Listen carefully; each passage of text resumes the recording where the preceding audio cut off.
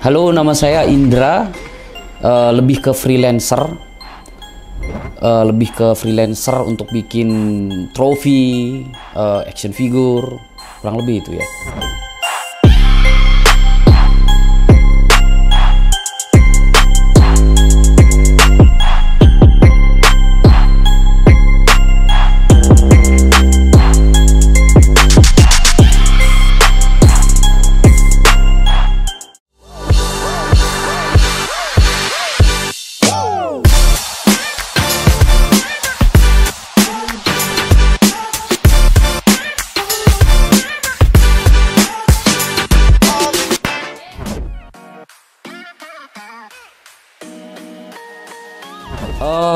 Pertama sebenarnya karena saya sering bikin trofi dari akrilik, akrilik, MDF, main CNC.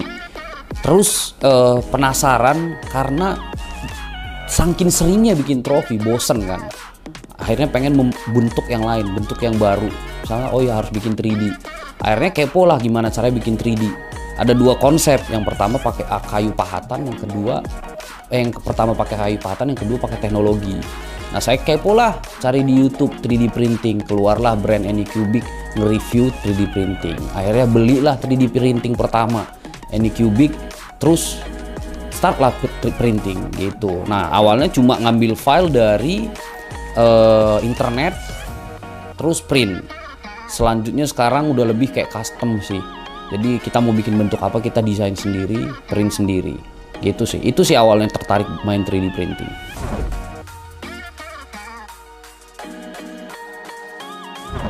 Uh, sebenarnya saya nggak ada sih kepikiran dari awal bikin diorama, bikin action figure yang terkenal nggak sih.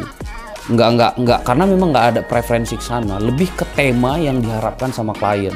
Misalkan sekarang kliennya lagi pengen bikin event temanya Avengers lagi ramenya Avengers Endgame waktu itu ng ng ngambil tokoh Black Panther.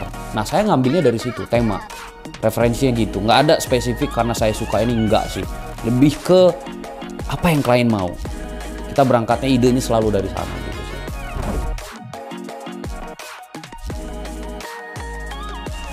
Oke, kalau menurut saya proses kreatif sebenarnya sekarang tidak begitu uh, menjadi faktor krusial kalau main kreatif kayak gini. Kenapa? Karena sebenarnya semua udah ada di internet. Ya sebenarnya yang paling penting adalah kita mau bikin apa. Nah, kita harus tanya dulu. Kalau saya, saya tanya dulu, saya mau bikin apa sama klien ini ketika klien uh, saya tanya saya harus pasti nanya klien tema eventnya apa? Karena kan saya uh, bikin sesuatu pasti ada order ya. Tema eventnya apa? Misalkan sekarang lagi bikin bulan eh, eh temanya zodiak. Saya selalu berangkat dari logo zodiak atau uh, icon zodiak. Nah saya berangkatnya dari tema. Nah beberapa kali kita main event juga mainnya uh, temanya kayak naga terus hewan-hewanan kayak harimau kayak burung hantu. Jadi berangkat dari situ temanya. Start ide kreatifnya dari situ baru dikembangkan dengan bentuk yang diharapkan sama industri sendiri gitu. Nah kalau misalnya uh, korporat dia nggak akan mau bentuk yang sangat ribet. Kalau misalkan dia ma uh, mainnya uh, komunitas pasti diharapkan ya yang aneh-aneh lah bentuknya gitu. Begitu sih start kreatifnya.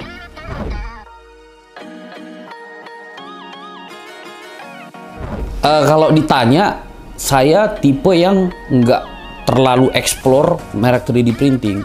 Jadi ketika pertama saya beli uh, 3D printing, saya cuma ngelihat harganya, oh ini cukup masuk akal harga untuk saya pemula gitu. Nah itu yang pertama. Yang kedua, ketika saya beli, saya punya itu yang pertama mereknya ini Cubic Photon M3 ya, M3S kalau nggak salah. Nah yang kedua, saya beli res resin 3D printing Elego uh, Saturn 2 ya Saturn 2 itu itu karena rekomendasi teman-teman juga di 3D Zaiku termasuk saya beli Elego uh, Neptune 4 Plus untuk PLA itu termasuk rekomendasi juga gitu sih. Kalau ngomong brand saya nggak ada spesifik tapi harga sama ya berdasarkan rekomendasi dari yang menurut saya udah lebih memahami sih gitu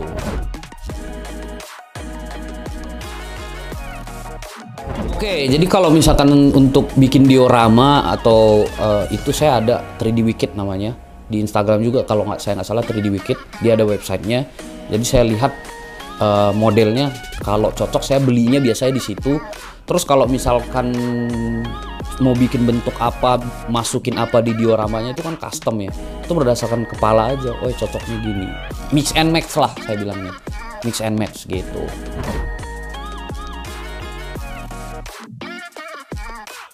uh, sebenarnya kalau resin saya nggak terlalu punya banyak masalah. Ya kalau main resin 3D printing paling masalah adalah saya support nyangkut eh support nggak nggak nempel sama uh, model.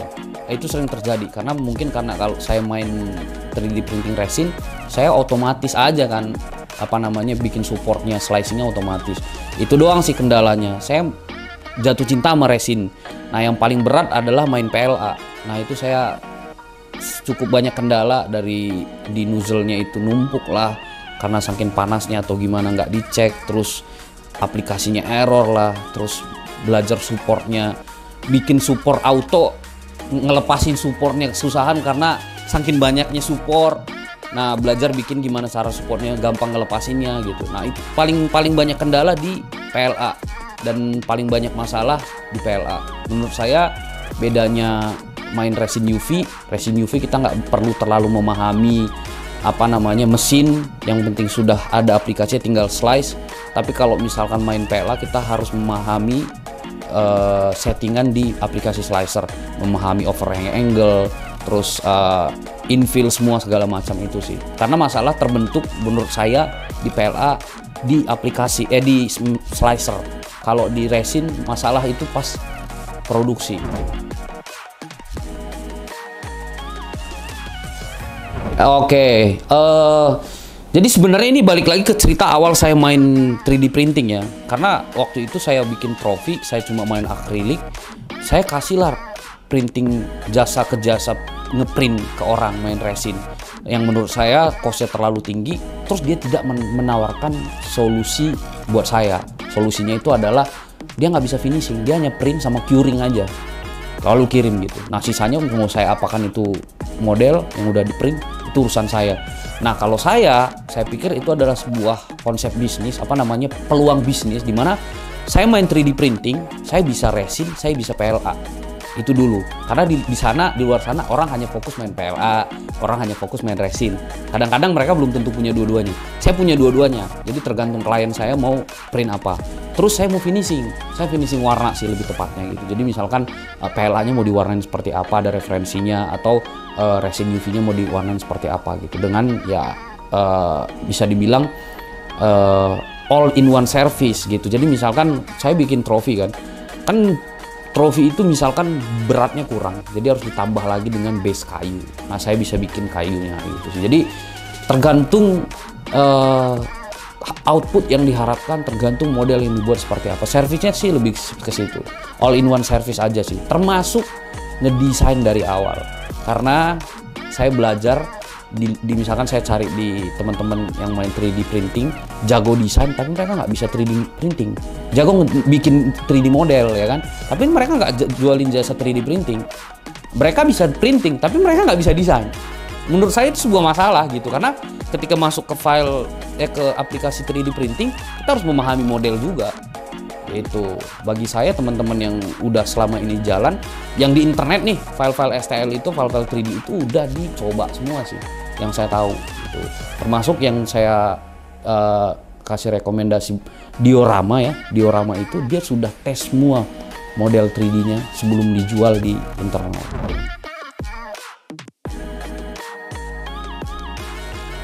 Uh, kalau saya bilang, kalau or, ketika orang nanya, lu bisa bikin apa? Saya bisa bikin apa aja yang berbentuk 3D. Jadi saya balikin lagi kebutuhan uh, klien saya apa saya mau bikin trofi katanya oke bisa trofi butuhnya apa? Trofi yang nggak terlalu detail ya sudah kita pakai PLA uh, eh, saya butuh bikin trofi tapi yang kuat. Harganya ya terjangkau lah ya PLA pilihannya. Tapi kalau misalkan saya butuh trofi super detail dan berat ya saya pakai resin. Saya main Evox eh saya main ABS atau Hartaf sekalian. Gitu ya balik lagi ke situ. Karena kan nah kemarin saya kepo juga apakah 3D printing ada metal? Saya saya cari di internet sih ada gitu. Jadi uh, kalau ditanya yang saya lakukan apa fokusnya sel selain diorama adalah uh, trofi. Karena kan marketnya continue ya. Kalau hobis itu saya belum continue. Ada yang order diorama ada cuman ya belum sebanyak trofi. Jadi kalau ditanya saya bikin apa trofi sih lebih banyak itu untuk untuk award lah ya unique award lah saya bilangnya. Itu karena semua yang dibuat desainnya custom dan eksklusif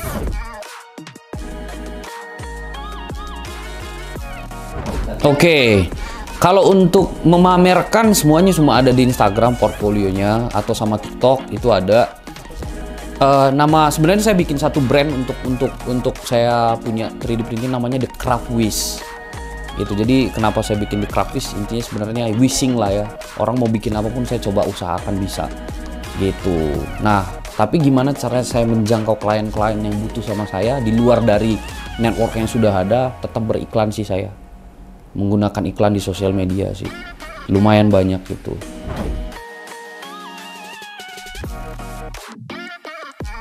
Oke okay.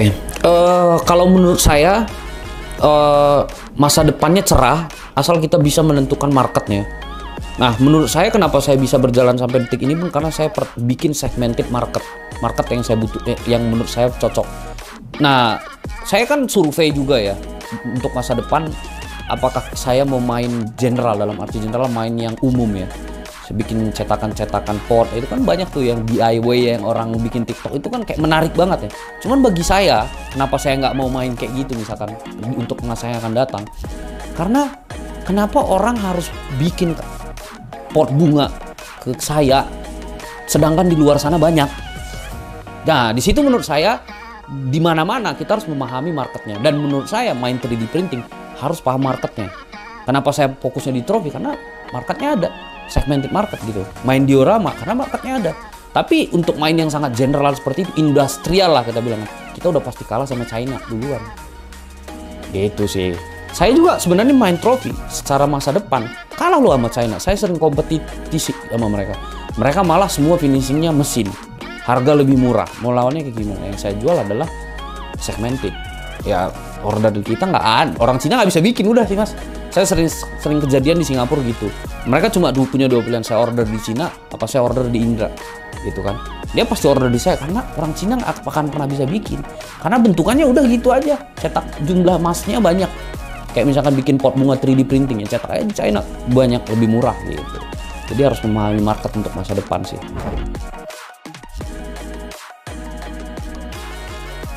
Nah itu dia nih, karena saya nggak, saya bisa dibilang outsider sih di dunia 3D printing. Nggak ada komunitas yang saya join sama sekali. Ada yang kayak in, invite gitu karena saya udah terlalu sangkin sibuknya sama pekerjaan 3D printing, saya nggak join gitu. Pengen untuk join gitu, maksudnya mungkin belum ketemu yang pas kali ya, gitu. Menurut saya penting komunitas penting sih.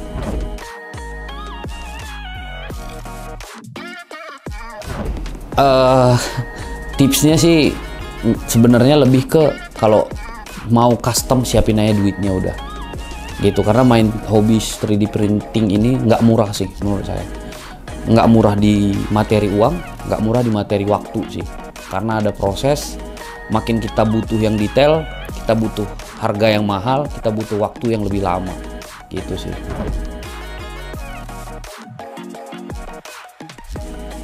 Uh, enggak sih, kalau ngomong 3D printing saya sadar juga mungkin akan lebih user friendly-nya sama Windows. Tapi kenapa saya pakai Mac? Karena saya desainnya semua di Mac. Sudah terbiasa pakai Mac gitu. Nah, tapi kalau di Mac saya pakai aplikasinya Leci Slicer untuk resin. Kalau untuk PLA-nya saya pakai Elego, aplikasi langsung dari resmi dari 3D printernya itu di Mac. Tapi kalau di Windows saya pakainya Orca untuk Elego gitu sih. Nah untuk resin nggak pernah ada masalah di MacBook untuk resin UV. Tapi kalau untuk MacBook punya keterbatasan di support. Contohnya di Leci, saya sampai detik ini nggak ketemu Leci PLA ada tri support. Kalau di uh, Orca kan enak banget ya tri supportnya pun enak, sangat menunjang gitu sih. Itu. Jadi tergantung kebutuhan mau pakai yang mana gitu.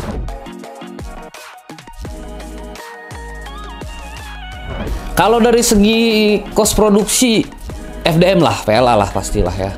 Itu udah pastilah, nggak ada nggak ada lawan lah gitu. Karena resin cetak satu uh, itu 10 kali lipatnya FDM sih harganya. Itu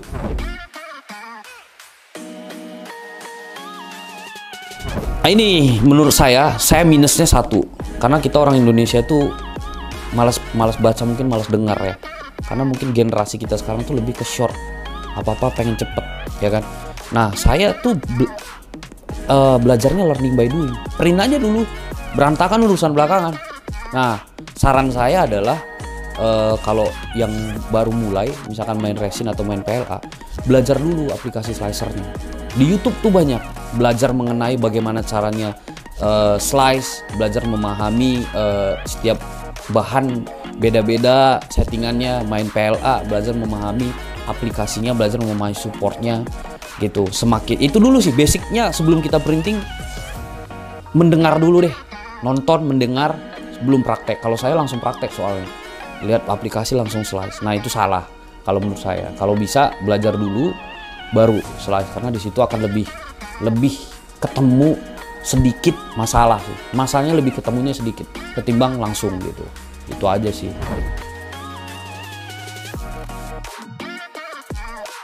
Oke, okay, karena saya udah main 3D printing, saya pengen punya yang namanya 3D printing studio.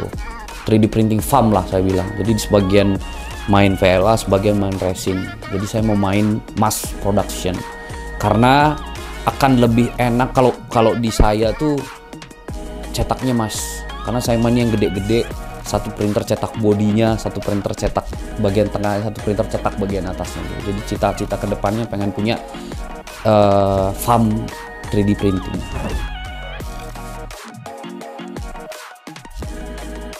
kalau lokasi kebetulan karena sebenarnya saya masih di, saya masih menganggap diri saya itu kecil saya bilangnya home production kalau lo lokasi kota tepatnya dari Kelapa Gading Jakarta Utara, sebenarnya workshop ada di Pulau Gadung, cuman lebih fokus ke finishing. Jadi kalau orang mau ketemu saya, kita ketemu ngobrol soal ini boleh. Saya pasti biasanya ngajaknya di coffee shop seputaran Kelapa Gading gitu. Mas saya boleh nggak mau order tapi mau konsultasi dulu. Konsultasi by phone tuh nggak enak, chat nggak enak, nggak jelas. Saya pengen ketemu langsung banyak tanya, boleh. Kita ketemu ngobrol. Kebutuhannya apa? Saya tanya. Kira-kira uh, fokusnya apa? ya saya bisa kasih solusi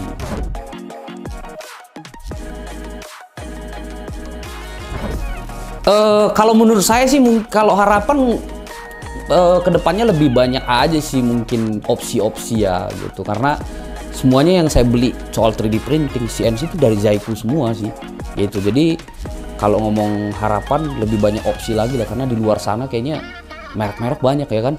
Gitu aja sih harapannya. Kalau ngomong udah udah cukup oke okay lah. Sangat bagus lah